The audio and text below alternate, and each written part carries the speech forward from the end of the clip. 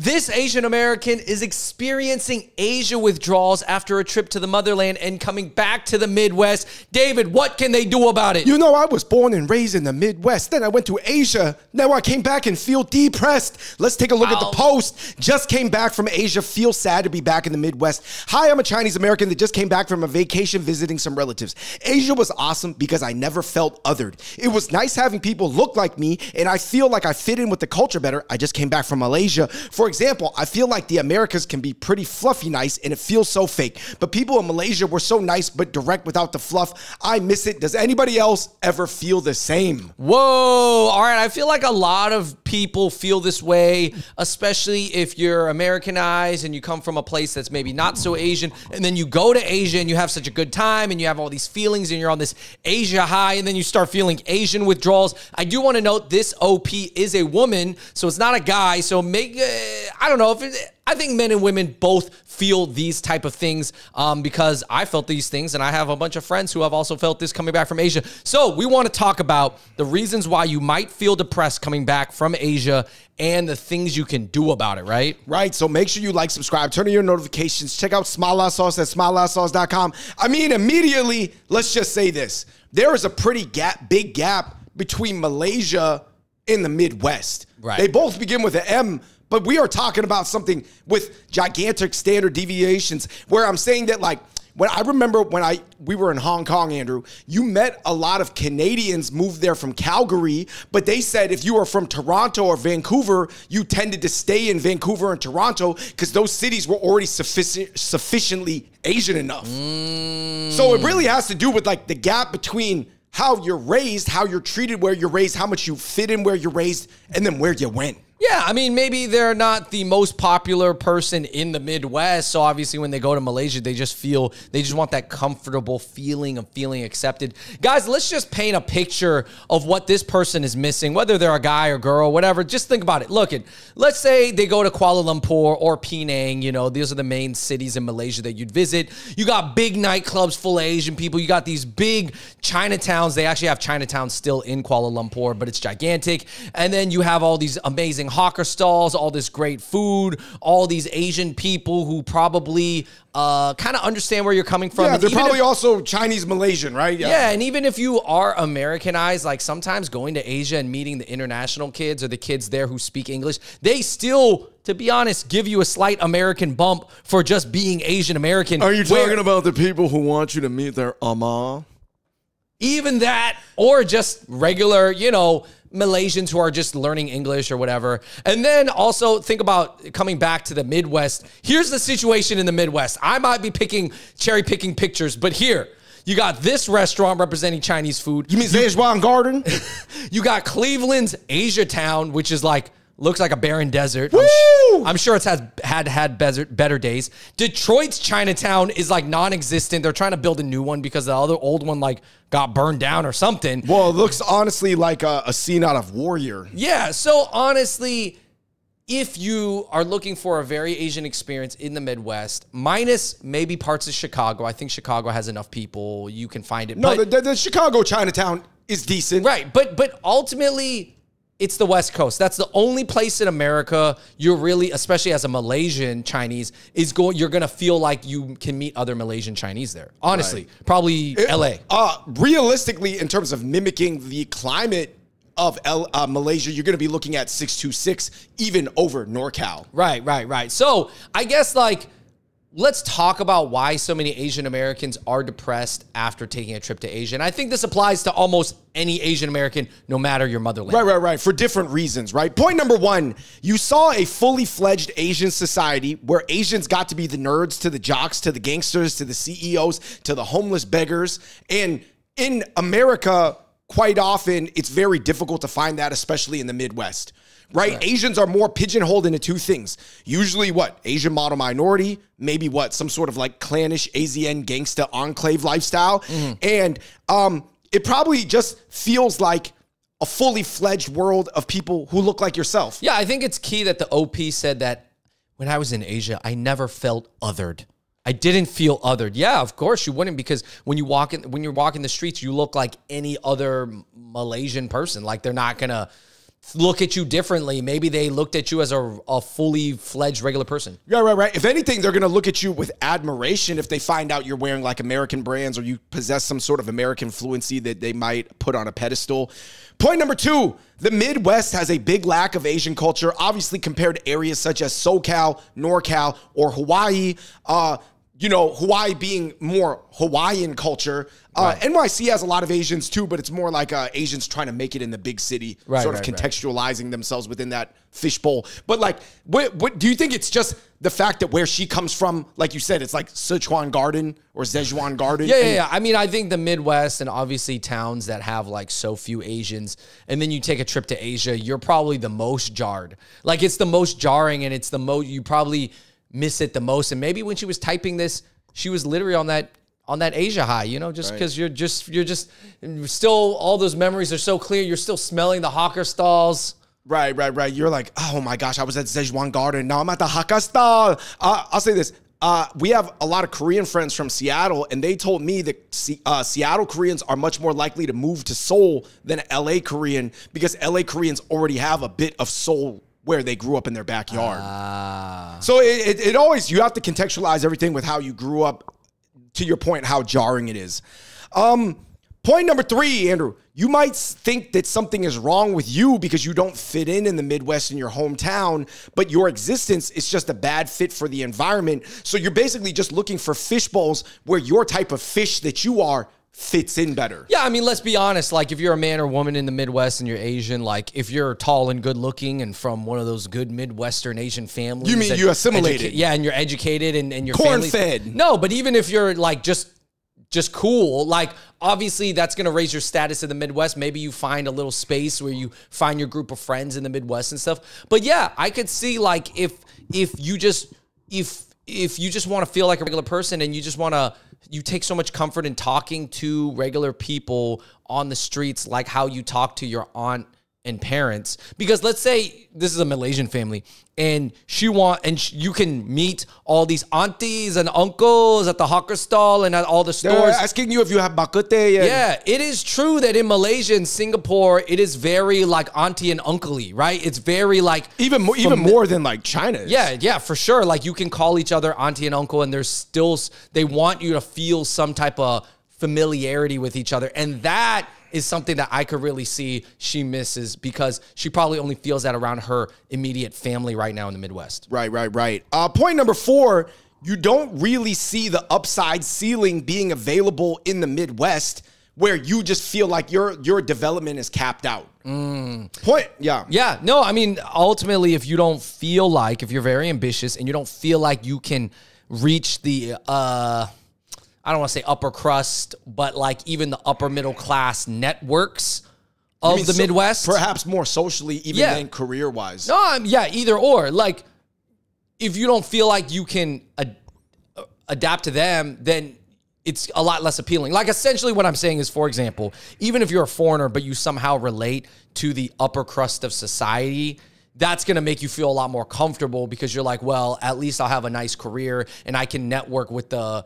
top 5% well people. that's why foreigners always love like colonial asia like hong kong or shanghai for a while right because even though they couldn't relate to the masses of the general population, they could relate to some small elite class. Yeah, yeah. Maybe you can't relate to the football America, but you can relate to the golf America, and that is still going to provide a lot for your life. Right. Um, Here's another point though. You may not just love being around Asians, but you love being your exact being around your exact type of Asian and having family that loves you. Yeah. So so you you can't you don't want to jump the gun and think it's just the Asian phenotype when it's actually like that combined with a bunch of other things. Sure. I mean, maybe if she's Malaysian, I don't know how she feels if she's in Japan or Beijing. You know what I mean?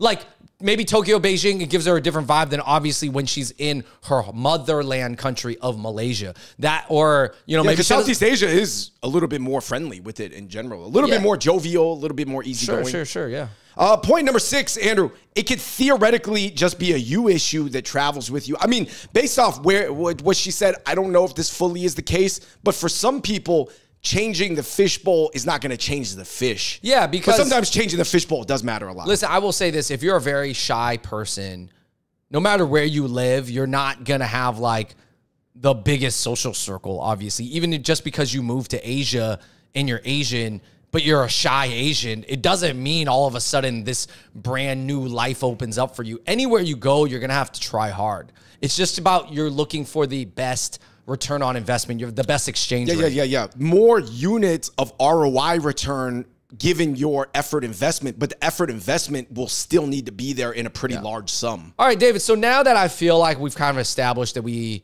I don't know this person personally, but we kind of understand where she's coming from. Like these are common feelings that a lot of Asian Americans have. So we kind of broke it down why you're feeling this way. And it seems like moving for her out of the Midwest would be one of the solutions if that's on the table for her, right? Right. I believe she's from St. Louis. Right. In, in the post. St. Okay. Louis, no Asians. Yeah. Outside not- of the outside of the buffet. Yeah. So and, and not like considered a super nice city either. I mean, it has nice Right, parts, right, but right. people yeah. probably think you're like cooking bourbon chicken. Yeah, yeah, yeah. So I guess how do people get over the fear of moving? Because a lot of Asian Americans are like, I want to move or I have the desire to move elsewhere, but like, how do I do it? Or like, it's scary. I grew up in the Midwest. Where maybe the West Coast or East Coast Asians won't like me. Whatever. What? Yeah. Point number one, I think you've got to focus less on the cost and the fear. And you got to f- think about the enormous upside. It's not that you don't think about the cost and the fear because you're probably like a Midwest person. So you, you just know what you know, a little bit more parochial lifestyle.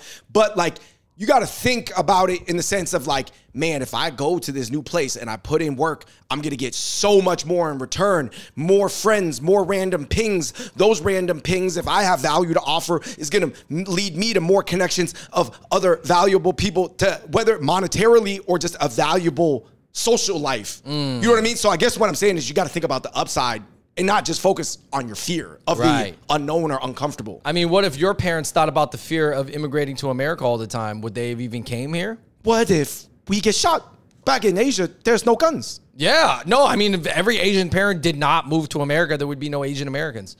Uh, point number two, um, you could find Midwest transplants like yourself on the West Coast, or Midwest to East Coast transplants, or even Midwest to Texas transplants. Yeah. It- it- there's so much movement nowadays. It's not like you can't join an online group, find all the Midwesterners.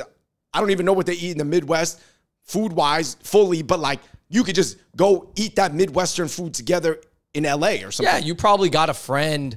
I don't know if you went to college that probably is from a different place. You can always visit them, kind of see what they're up to.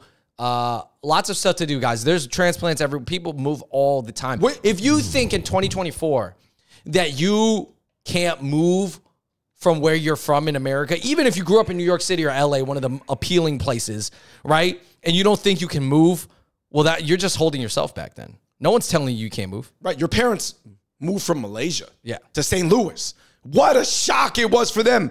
Point number three. Yeah, obviously nowadays there's furnished sublets, short-term leases, dating apps, friend finding apps, every single type of Facebook group imaginable. Mm-hmm. So I mean, you just got to use the internet to like test it out, short-term stays, right? Yeah. This last point I want to ask, and this is just something that you have to ask yourself if you have the desire to move and you're having trouble. It's like, what do you owe people to where you're from? I mean, like, what is anchoring you down? Now, if you are responsible for taking care of your family, or you're responsible for taking care of all your younger brothers and sisters, or you have a family business that you're the heir to and that you're supposed to take over, I get it. Those are pressures that you know, I can't imagine that maybe you have to stay in town, right? Like there are just some things that to fulfill your duty as a as a son or daughter, maybe you have to do. But That's our destiny. We have to run the one Malaysian restaurant and say, yeah, maybe maybe that's your destiny. I don't want to say it's easy for everybody, but if you don't have those strings tying you down and you're not responsible for your parents and your family, it's like then you have the option to move and just you just have to tell yourself like, hey, people move all the time, even if it's for like four or five years. You can come back, right? And then by that time, your city might be a little bit different, and you have a different perspective, and you feel better about life. Yeah, I see this a lot. I see this a lot. Uh, maybe it's because the Reddit crowd is particularly uh, prone to like complaining about things but not taking action. But you can't know that you're going to thrive and have a better life in another environment and not immediately go to that other environment. Like that is like just a real. You're basically being toxic to yourself at that point, Right, Because right. You're acting like a fish that needs an owner to scoop the fish out of the net and move it to another fishbowl. But here's the crazy thing about life, Andrew. The fishbowl analogy works because we're all born into these fishbowls, but we can like teleport to other fishbowls. So you could tele- keep teleporting to different fishbowls in life until you find one where the pros heavily outweigh the cons for yourself. Teleport to other fish bowls. Teleporting fishbowl. Hell yeah. David, we teleported to a different fish bowl. I mean, we moved from the Seattle area down to LA, and that wasn't, and I just always knew we were going to do that, but it wasn't because like Seattle doesn't have Asians or we don't have friends in Seattle. It's just that, you know, the, the career wise and the industry was, is more in LA. Yeah, well, was Seattle Asians Seattle. are more just uh, trying to do tech. Yeah. Or, or something else. or just live their life. Yeah. Anyways, guys, uh, I guess um, let us know in the comments down below if you've ever felt this. I know that a lot of Asian Americans watch our videos, and like, you know, if you've ever taken trips back to Asia and you felt and you came back on that high for like, you know, those next two, three weeks, you're thinking about the trip and you're like, ah, and you're still chatting with some of the people that back home or some of the relatives and like sending pictures back and not, not all the pictures got sent yet. So you're still thinking about it. But but like, what do you do when you're back home? Right, right. Like, how do you deal with this? You know what I mean? Well, is it the equivalent of being from a really, let's just say, for example, you, you live in a house with a bunch of unhealthy people, chips, candies, a lot of processed stuff around. And then you go on a health retreat where you guys are working out every day, eating single ingredient, whole organic foods. And then you come back and you're like, this Cheeto environment doesn't make me happy anymore. Don't you owe it to yourself to try to make something happen? I mean, like, like you said, Andrew, is life all about just small decisions that are difficult to make? yeah, yeah, man. It's just about, uh, and I feel like sometimes as Asian Americans, you are called to make harder decisions more often because maybe you don't, you aren't born with this comfortability. You know, I don't want to call it privilege necessarily, but just being born with this comfortability in your community and stuff like that. You're not, maybe you're not the, yeah, like for whatever reason, you're just not living the life that you feel like you should be or that you could be somewhere else. So, you know, yeah, right, everybody has to make hard decisions. Yeah, life, we're not going to be born into a situation where the probability that we fit in with the local townies that stay at the local bar, pub for like 20, 30, 40 years is that high. I do see few Asians like kind of slip into that, mm-hmm. but more than likely, you don't fit in with that crowd they, yeah. that like stayed in the same hometown is going to die there for the rest of their life. So, you guys, listen, guys, this is the situation. You're called on to do certain things in your life,